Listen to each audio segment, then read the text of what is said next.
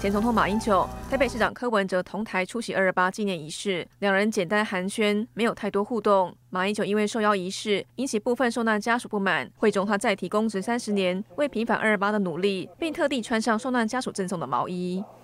这是两年多前一位二二八家属亲手打好送给我的，象征二二八亲属跟我的友情，让我感到格外的温馨。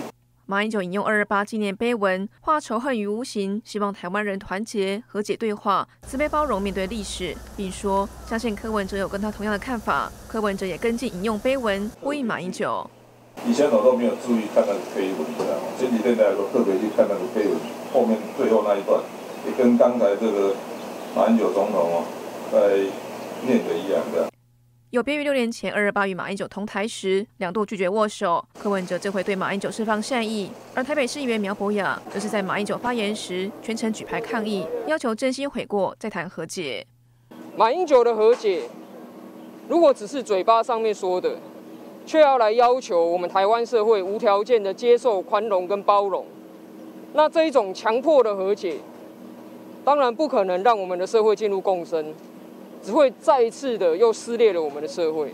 对于柯文哲脸书发文，将二二八事件处理委员会写成是反抗据点，号召起义，IP 歪曲历史。苗博雅也要求柯文哲道歉。问题是后面那个政府与国家机器进行大规模破坏，这个已经把它定掉了，对，这才是重点。所以前面你们就不要计较。柯文哲定调二二八是国家迫害人民，脸书也已经把叛乱一函修改，让大家别那么计较。所以你觉得你的用字遣词有不当吗？这个哦，等下私底下再跟你讲啊。新台是曾一豪、刘志英谈的报道。